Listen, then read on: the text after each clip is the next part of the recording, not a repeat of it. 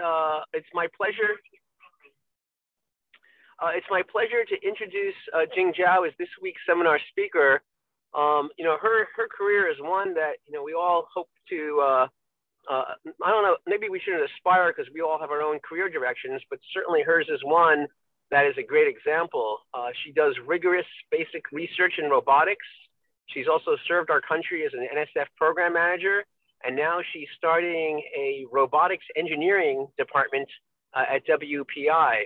Uh, so I will be quiet so Jing can tell us all sorts of good things. Thank you, Jing. Oh, thank you, Howie. Uh, thank you for inviting me here.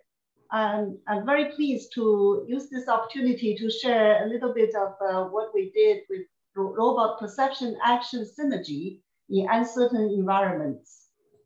So we know when a robot operating in an uncertain world, it requires sensing and perception to guide its motion.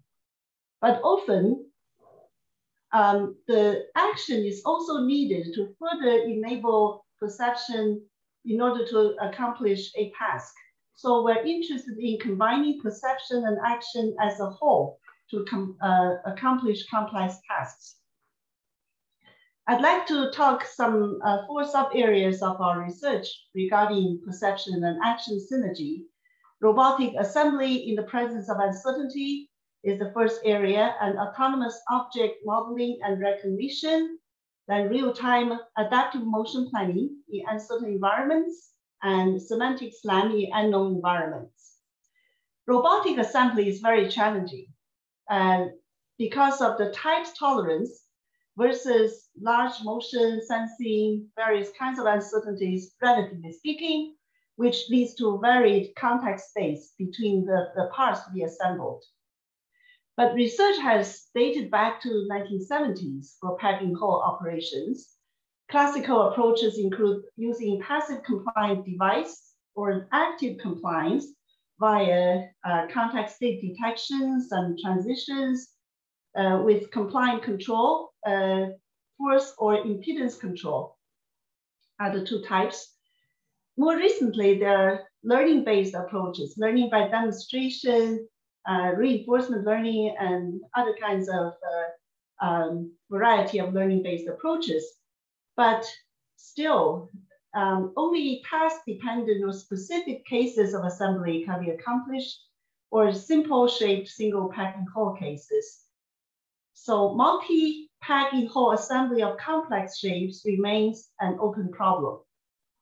We're interested in autonomous complex assembly with a general task independent approach. As shown here is some two peg in hole assembly cases.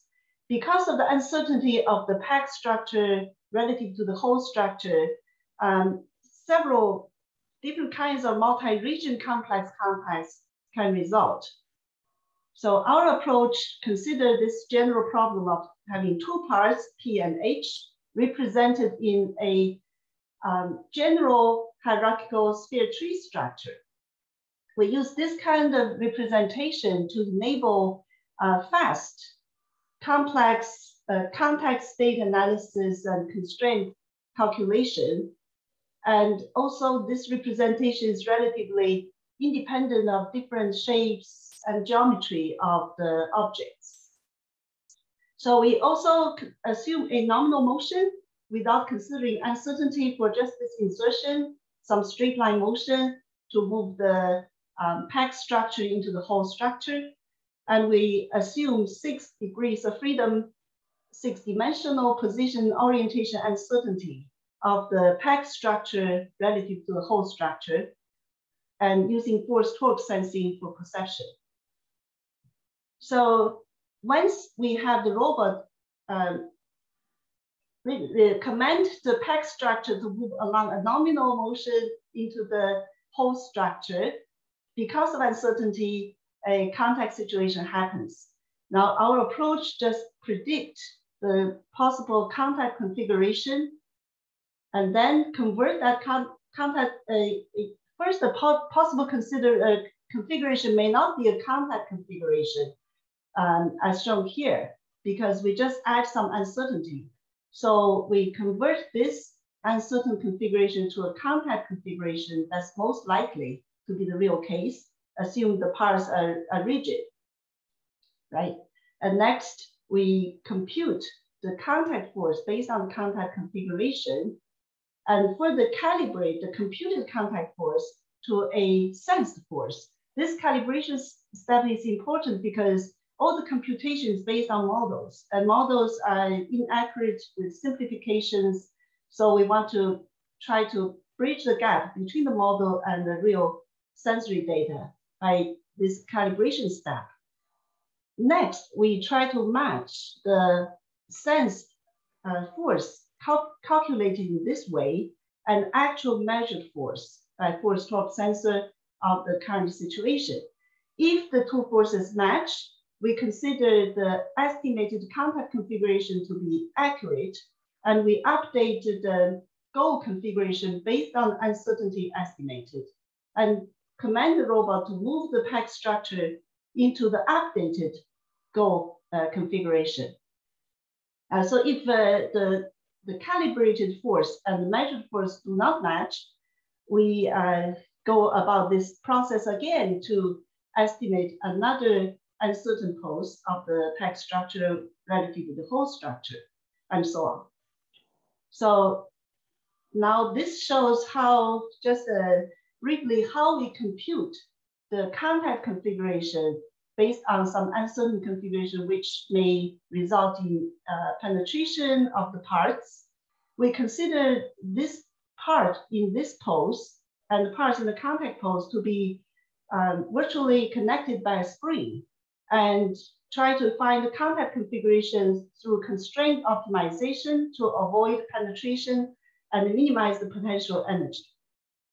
As uh, I said, we use sphere tree models to represent the parts. So it's easier to form the contact constraints just in terms of two spheres. It's very simple. And that's a uniform way of representing contact constraints regardless what um, arbitrary shapes the and hole assume. And then we use uh, just Hooke's law to do a simple contact force computation.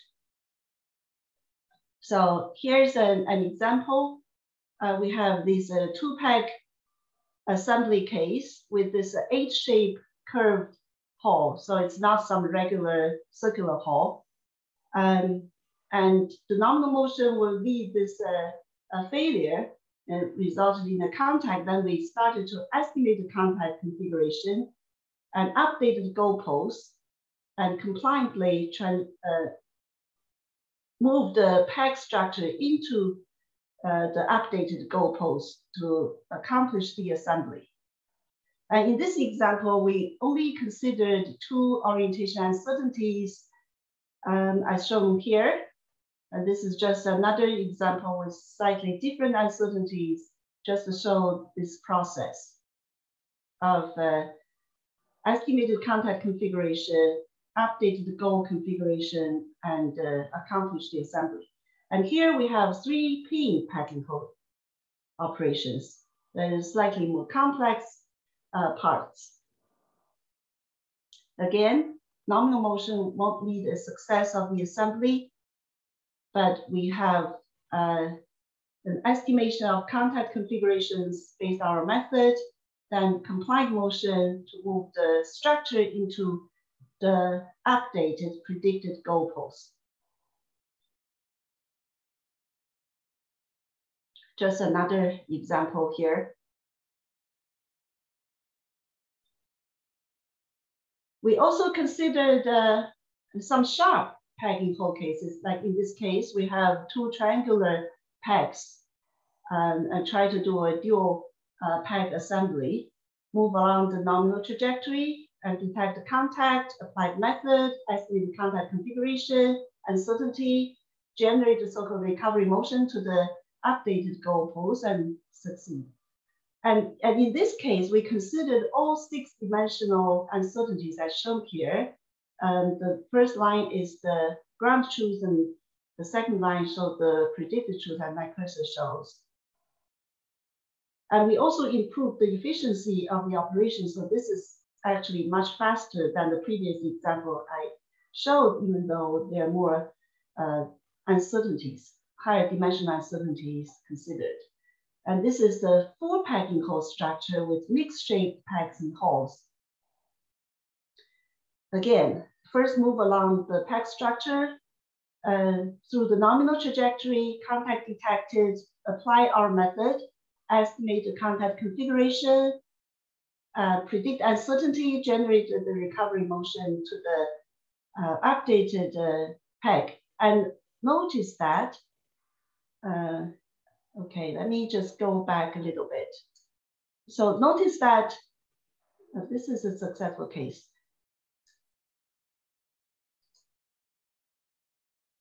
Yeah, maybe, I think I, I, I'm going too fast. Okay, here, this is the good case.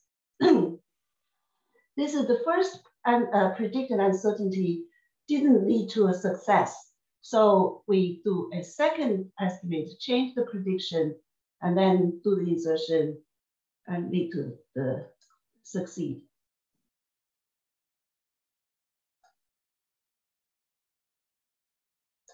So this is the full peg-in-hole operation. Again. So with the two rounds of uncertainty predictions and insertion, and task is accomplished. So we have successfully done this type of uh, um, assembly in 10 to 20 seconds, even when uncertainties are greater than 10 times of the task tolerances.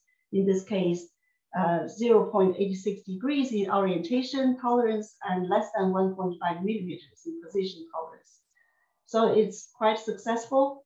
this is a rather deterministic method it uh, achieved successful performance for repeated runs of the same task case and general to assembly parts of arbitrary geometry. Now, I'd like to talk a little bit about autonomous object modeling and recognition. We know we'd like to have appearance-based 3D object modeling of some unknown objects for the sake of uh, recognition and manipulation later. Common approaches include uh, having a fixed camera and put the object on a turntable or manually uh, change the object poses in front of the camera in order to capture the uh, surface appearance. Another approach is to fix object, but have the camera move around, uh, can be autonomously viewed uh, via view planning or manually. But the first type of approach is tedious and the second type of approach can be uh, model, uh, model uh, can may not accomplish complete model. So we try to interleave perception and manipulation autom automatically to achieve this uh, kind of uh, object modeling. The approach is uh, very simple. Take an image and build a partial model, and then push the object to expose more surface to the camera expand the model by registering uh, more images and so on. So this uh, process of image taking, building, model building, and object pushing until some 360 degrees of loop uh, has been accomplished. The next is to change the support surface because the surface on the table is not modeled yet. And we have a, a way of deciding what is the new support surface, try to make sure the object is stable. And also it's easier to do the manipulation of changing the support surface. Then repeat the whole process until all surfaces are captured. Uh, we use a pairwise image registration here, like two adjacent images with overlapping uh, images of the, the same scene and use uh, ASIP uh, key point matching and iterative closest point algorithms to find the relative configuration of the point cloud of one image. Uh, this is RGBD sensing, by the way, um, with respect to the other. And after a rotation loop is closed, we further do a global optimization and use this virtual mate approach to try to eliminate um, propagated errors of uh, registration through this uh, reverse uh, refining of the configurations. So here we have an example, just first, first view and uh, partial model and push the object, result a new view and slightly growing the partial model and push again and again. So I can move this a little bit faster. So this is a view 16, and this is the partial model. As you can see, it's a, it has some errors because uh, of a propagation. Okay, now this is the view 19. This has accomplished a loop. And this is the current model after global optimization. Now, change of support surface, the manipulator tries to, to find a new support surface, but it's not the, the smaller surface at the bottom, rather the surface opposite to the previous support surface, just to be more stable. And this is the final model. So this shows the effect of uh, before and after global optimization. This um, before the optimization, there's some gaps due to the accumulation of errors. And after the global optimization, those gaps are gone. Here, more object models. This is a quite a general method applicable for any objects that can be manipulated by a conventional manipulator um, to uh, obtain a complete uh, appearance-based model. What if the environment is cluttered? So what if we, we have a target object, we also have some obstacles in the scene that should be avoided. Um, in this case, we consider a continuum robot, uh, elephant trunk-like robot uh, with a tip camera because the continuum robot is flexi flexible with a smaller uh, footprint of uh, manipulation. So this is the target object. What we do is to interleave perception again and manipulation. So we have this uh, tip camera take a picture and then use that uh, partial model to guide the robot's motion and as the robot discover more obstacles and more surface of the target object, it, it has a, a real-time motion planning to, to move further and further until some loop is closed. So this is the, this uh, upper left corner shows what the image is from the uh, tip camera of the robot. And the robot doesn't have to recognize the obstacles, but it does uh, detect the, the presence of obstacles and do real-time motion planning to avoid collision with those obstacles. The motion planning is very fast. It's about the total time for, for that whole loop is about 20 milliseconds. So this is just another example. We have a, a coffee container uh, it's much larger. So the robot is not large enough with all the expansion uh, to, to make a envelope of this whole object. So in this case, uh, we combine the motion of one way and the motion in the counterclock way to capture the entire surrounding surface of the, the object.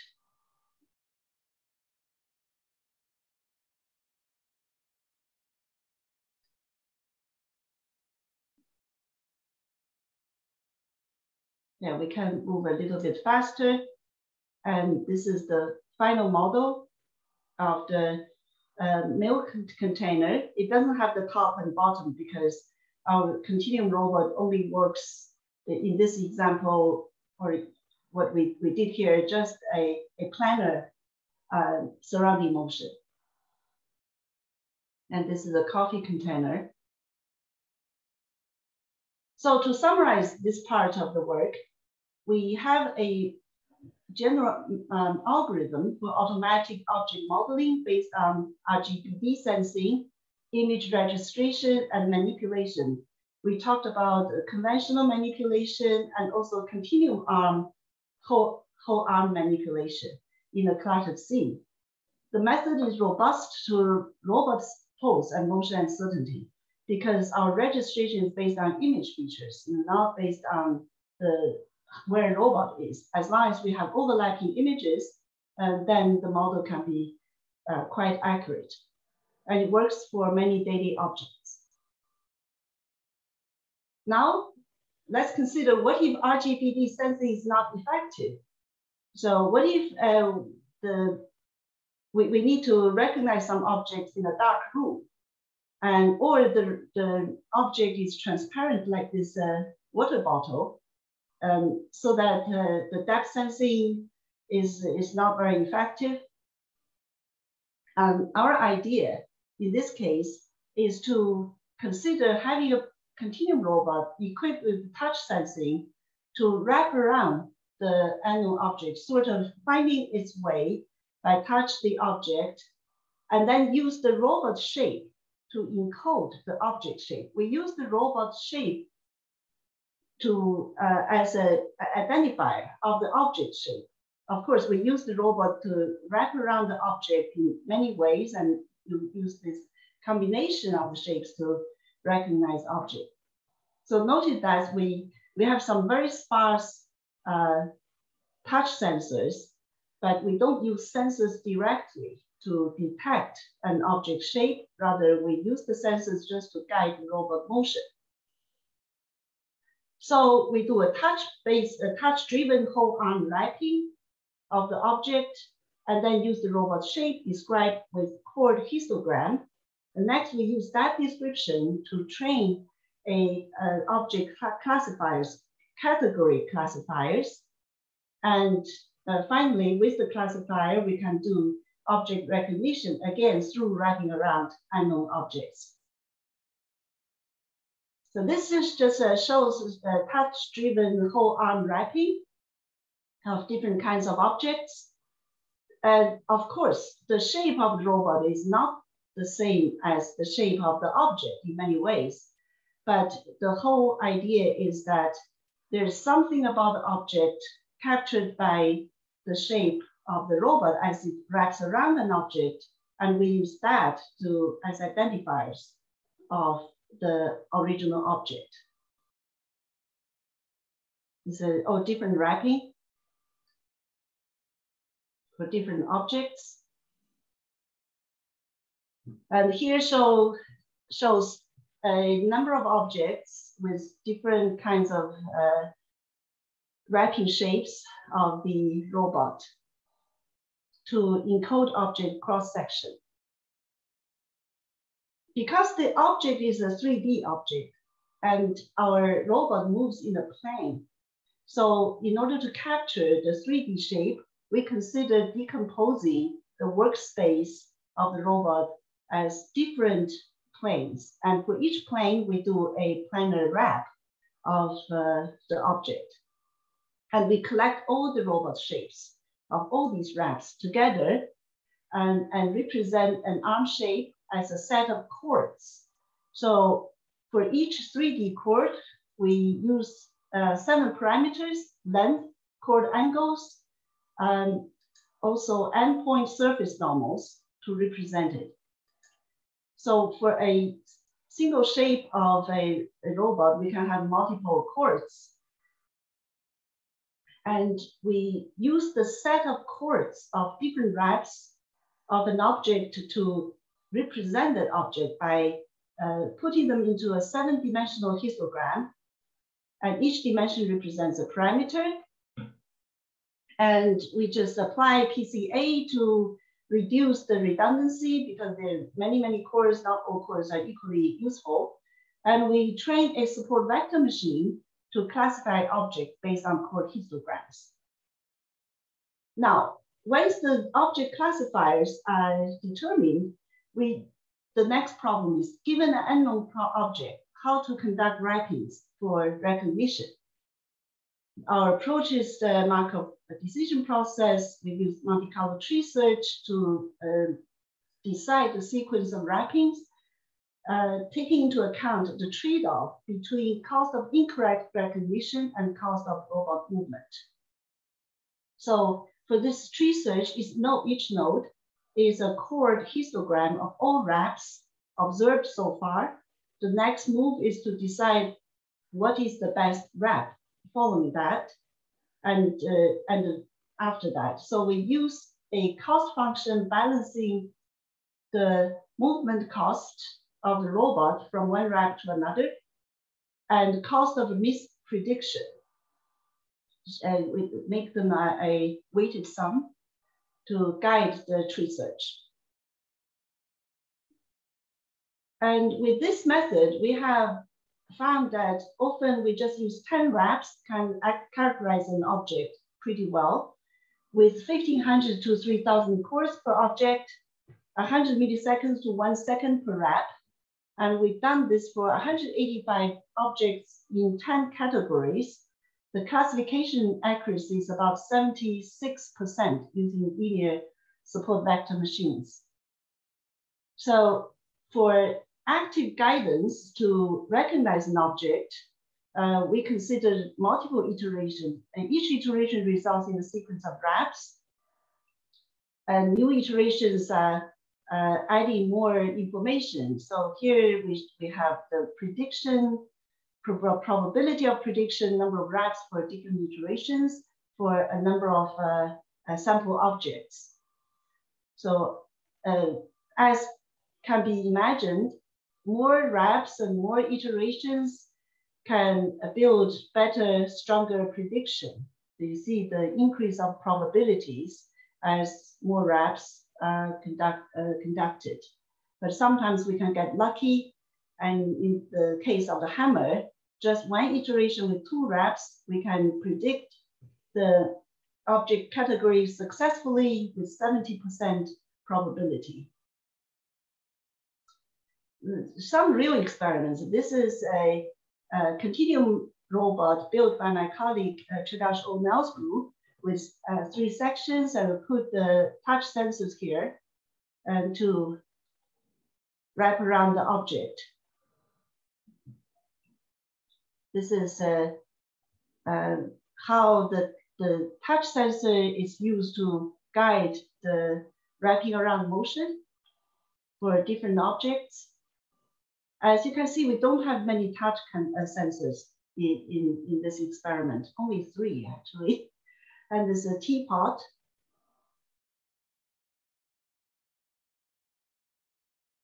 So we, uh, what we did is we used simulation to train classifiers and the classifiers trained by the simulation is um, are then applied to real world object recognition. So there's this sim to real transferable object classification. Um, here show just some uh, sample objects, and these are real, corresponding real objects. Um, the uh, scene trained solely from simulated wraps work pretty well for this bottle and for teapot, but for uh, this box, is just uh, totally failed. And it's thought it was a bottle. That's because actually a malfunction sensor, touch sensor, makes the robot uh, didn't realize it's already touched the object and continue deform, continue try to, to wrap around the object. So it results in a shape very similar to the shape when it wraps around a bottle that causes the, the wrong classification. Just some uh, video to show the real operation.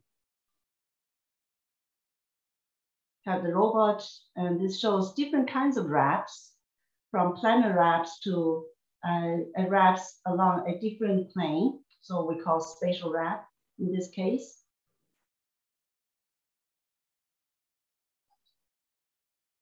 and for different objects.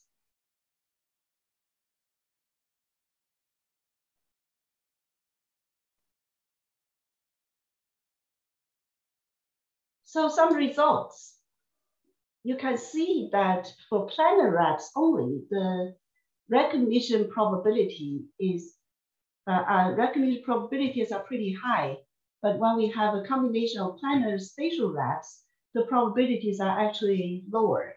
This is because the spatial wraps are not as accurate as planar wraps comparing to the simulation. Remember we trained the classifiers in simulation and we directly apply that to real world um, object recognition. The spatial wraps suffer from the gravity effect. So it's less accurate, it has more deformation of the shape of the robot, and that affects the results. So certainly we need to do more to improve the situation.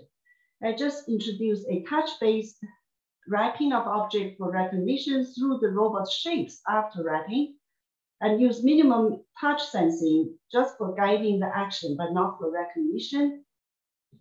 So the method is applicable to objects where vision sensing or RGBD sensing eh, is not effective, but more work can be done, a lot more work can be done to improve the robot sensing and the learning. We just use a very simple learning um, SVM uh, classifiers, but we can certainly do more there.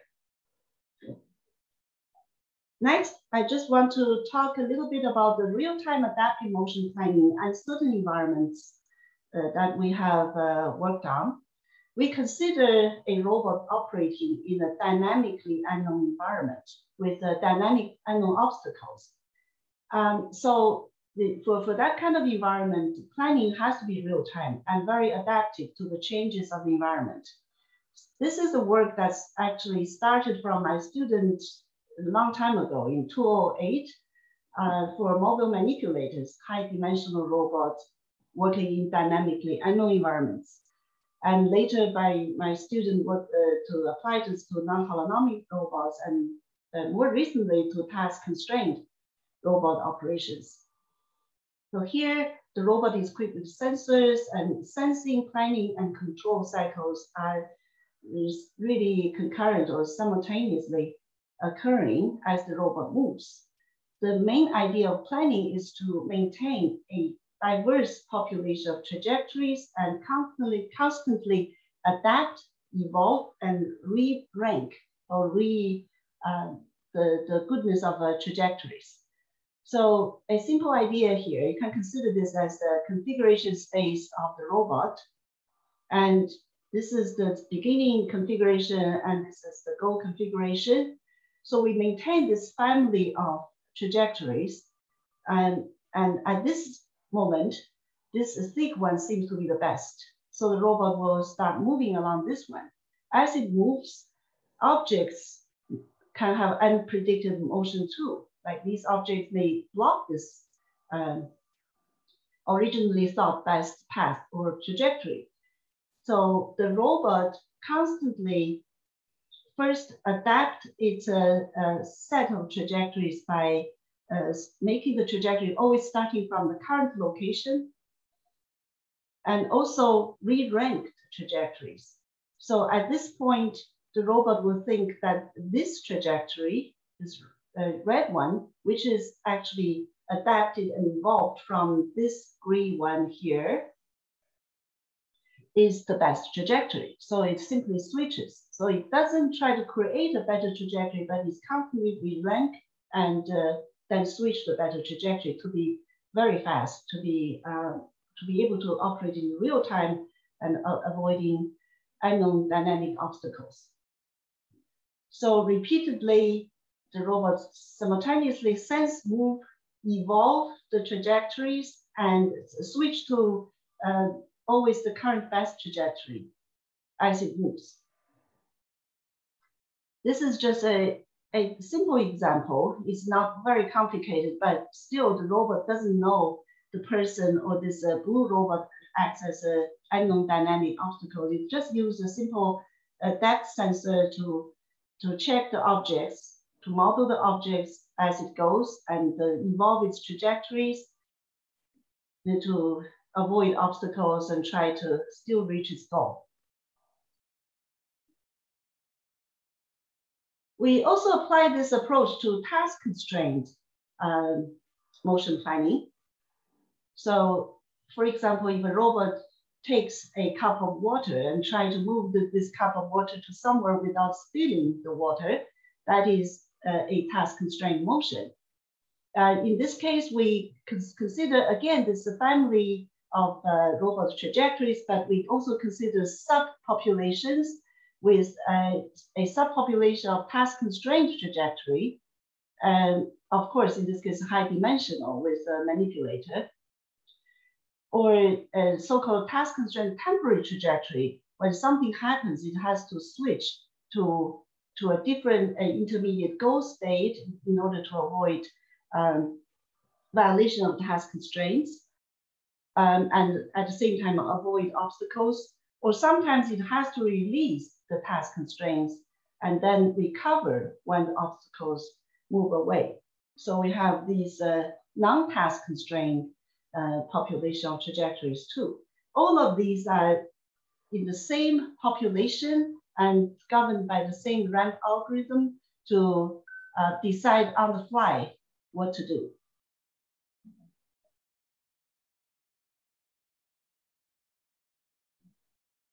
Okay, so here's an example. We have this uh, manipulator holding a cup of water and tries to move it without spilling the water. And then some uh, random unknown obstacles come, it, it has to try to avoid it, still accomplish the task. But sometimes the obstacle is persistent, so the robot try to release the task by putting down the uh, cup to some intermediate goal um, position. And once the object obstacle leaves, it started to resume its task of uh, transferring the cup of water to the goal configuration. Just another constraint task, try to push a drawer into uh, its place, but then has to avoid some uh, unknown obstacle. We, we just use the UAV. So release the task and then accomplish it the important thing is all of these different behaviors were governed by the same algorithm. We don't pre-code when to do what. It's just that once it sees something, can switch to different populations of trajectories and to use the best one based on some uh, optimization criteria.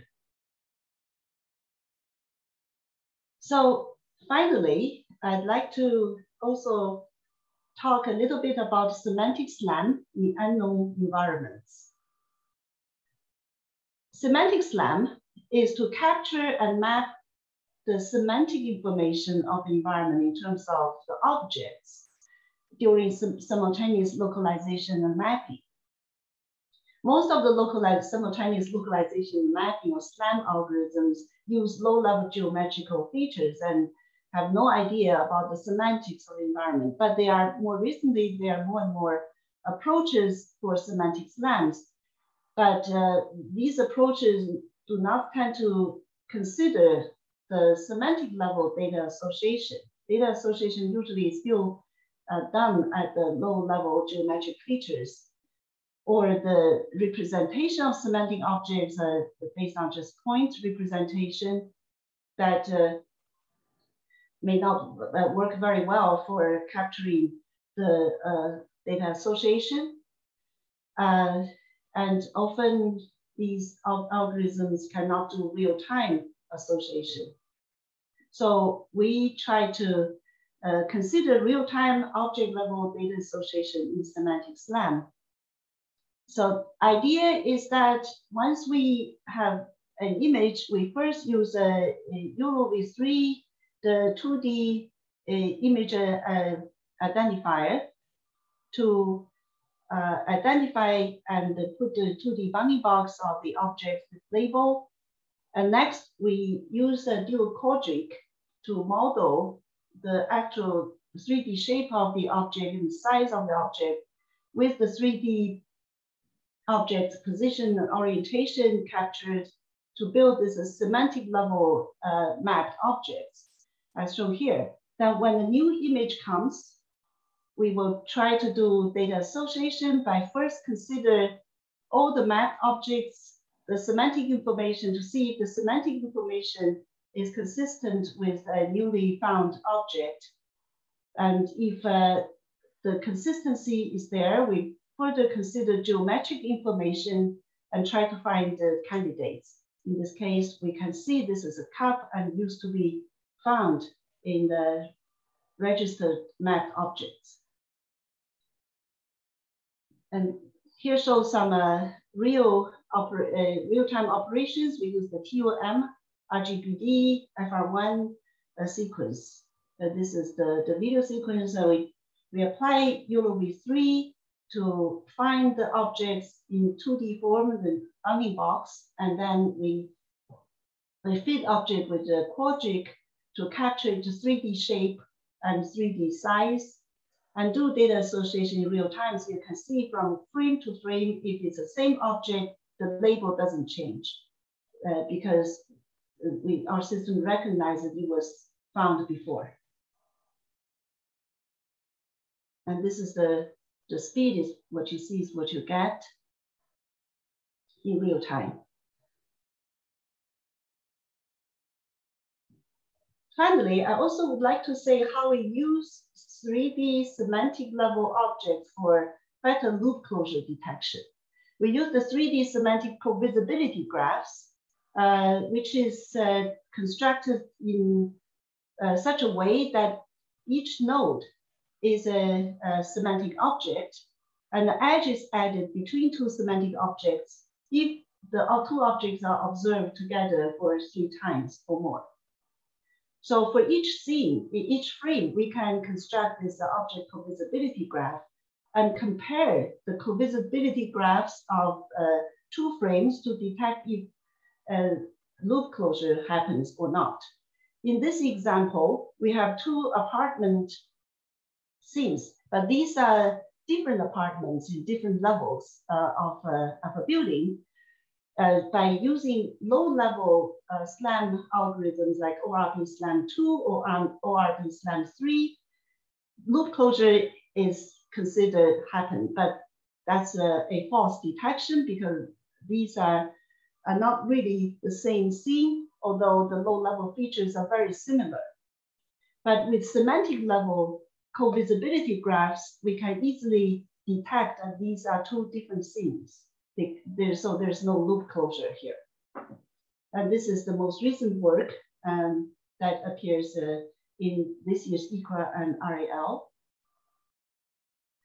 So to summarize, um, I have introduced a little bit of our research for perception and action synergy into, uh, in four areas, robotic assembly in the presence of uncertainty, autonomous object modeling and recognition, real-time adaptive motion planning in uncertain environments, and semantic SLAM in unknown environments.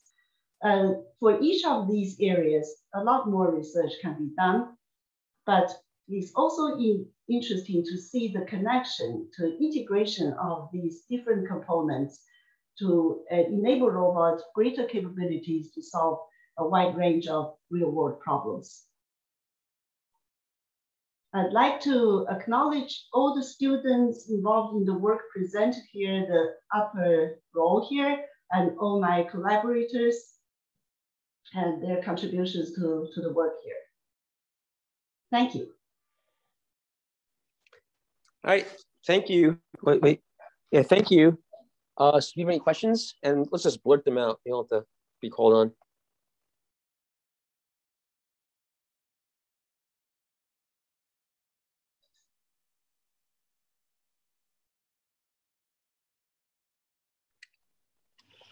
Just you know in the chat people are telling you Jing Xiao that you have just gave a great talk. Uh, thank you. Yeah, I, I'd like to hear some questions. Um, if,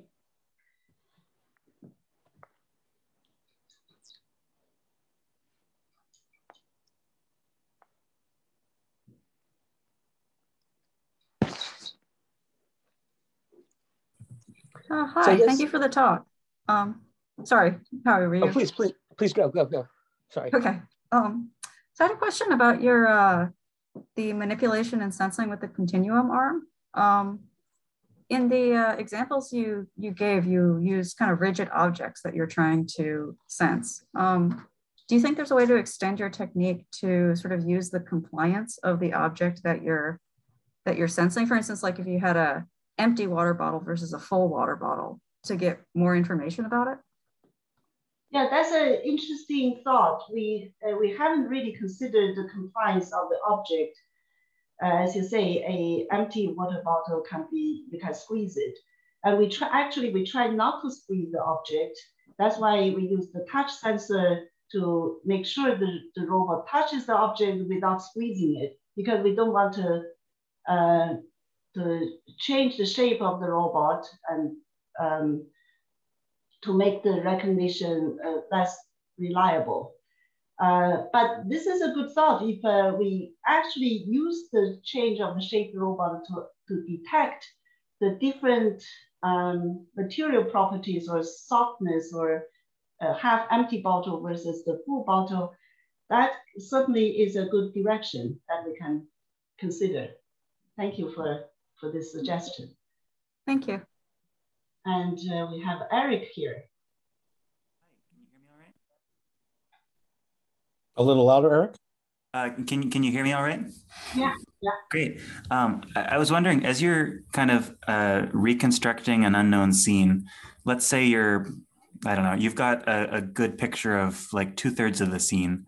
Any thoughts on how you pick like which parts of the scene most need more information, or like like where you should go to get new images, or to, to best fill in the rest of the scene? you're talking about uh, object modeling. Yeah, I, I, was kind of imagining you you like the movable camera as it kind of snaked around the scene. Like like is there a fixed path there, or do you decide do you decide which parts of it need more information filled in? Yeah, it, in this example, we didn't really consider uh, how to pick an object to to to do the modeling, as you said, which object needs more information. Uh, we just uh, try to see if we can use just a little bit of sensing information to, to move the, the robot around, uh, avoiding other obstacles. Um, but uh, certainly that's a, a challenging uh, question once you have a scene and you don't even have a full picture because you rely on the sensor on the robot to, to, to guide the robot uh, to see the environment how to detect, how to decide which object is more useful for, for this uh, modeling. I, I don't have a, an answer for that right now. Um, but I, I assume that you, one can have the robot just started modeling things as it sees, sees an object and just try to wrap around, and then sees another object, try to wrap around, and try to to uh, gain more object models in the scene that way and to decide, depending on the task, uh, whether it should stop or just uh, think that it has accomplished its goal to find it has already found the water cup, for example, and just fetch the cup without care about the rest of the stuff in the scene. Thanks.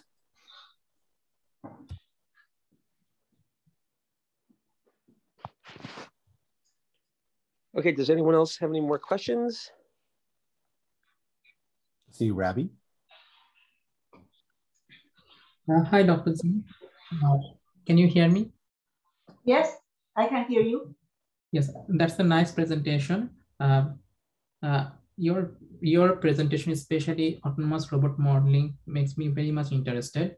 I wanted to know about the application of Markov decision process that you discussed in your page 36, where you have used that how the Markovian decision process is applied for the robot modeling cases. Uh, my question is that uh, except Markov decision process, have you considered other approaches, Markovian chains and so on, to model your robot modeling and how it works there? Um, yeah, we haven't really considered uh, the other methods. I, I, wish I had more students to continue in this direction. Um, so it's uh, it's uh, basically just considered this is uh, one way to decide um, how to wrap around uh, an object effectively for recognition. But I, I, think even random wrapping around, if you have, have an unknown object, you start to wrap around randomly, uh, you can gather in, enough information to, to do some uh, recognition. It's just that using this uh, Markov uh, um, Monte-Carlo tree search, we deliberately balance the recognition rate or accuracy and the efficiency of the movement, try to make things more efficient. But no, I haven't considered using other approaches for, for the uh, decision of a sequence of actions of wrapping. Uh, thank you for your response. Uh, I have a, a backup question regarding this issue that have you considered finite state stochastic Markov decision process or it is uh, uh, deterministic? Uh, it's a, a it's not a, a, a finite state. Is, that what your, your question is, finite state or just the? Uh, non-finite state. I mean, the state can be infinite and you can go through some uh, stochastic approaches to have the full idea of the modeling. Yeah, it's a it's just a stochastic process to to find a, a some sequence and sequence is not even complete. That's why we, we can't have just a finite tree. We do a sequence. And if this sequence doesn't work very well for recognition, we do another iteration, but it's stochastic. So it's nice. It, it, it will um, likely to lead to a different sequence. Thank you for your response.